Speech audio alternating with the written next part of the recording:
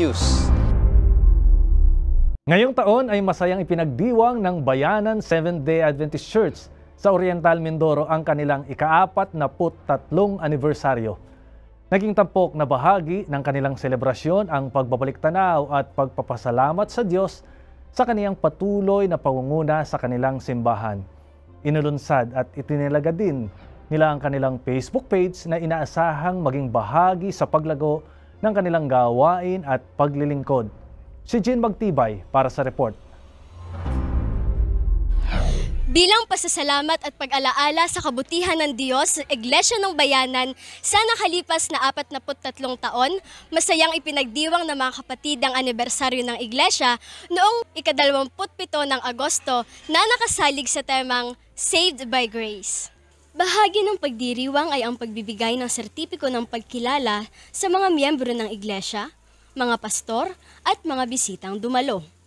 Pinasinayaan din ang bayanan Seventh-day Adventist Church Facebook page sa pangunguna ni Bayanan Church Communication Director Randy Digma upang higit na mapalawak ang ministeryo ng iglesia.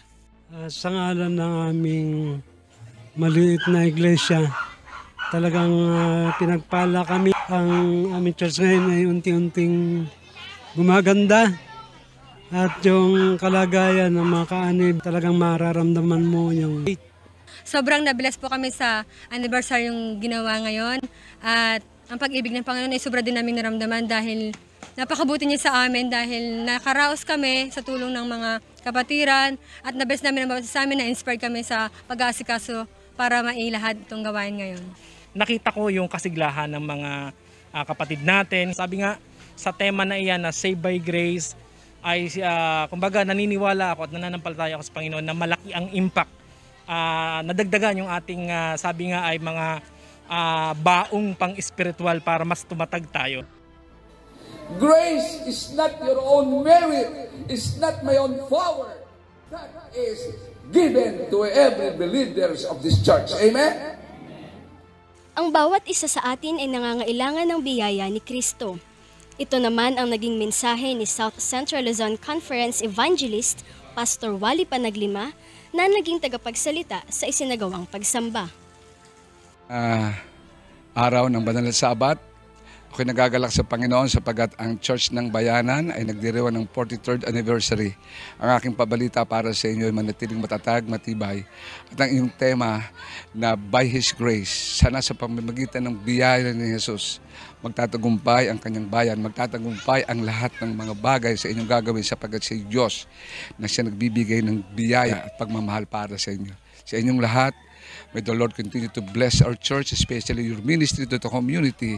Kasama din sa pagdiriwang ay ang Iglesia ng Dulangan na siyang anak na Iglesia ng Bayanan. Bilang anak po ng Iglesia ng Bayanan, isa pong malaking kagalakan para sa akin na makita na sa ika-apat na tatlong anibersaryo ng Iglesia ay patuloy pa rin sila sa kanilang kasiglahan na bagaman sila ay nandun na sa kanilang edad ay ganun pa rin kasigla ang kanilang pananampalataya sa ating Panginoon. Purihin ang Panginoon sa kanyang tapat na pagpatnubay sa kanyang iglesia, lumipas man ang mga panahon. Layunin maghatid ng mga balitang may pag-asa. Ako si Jean Magtibay para sa Hope Today and PUC News.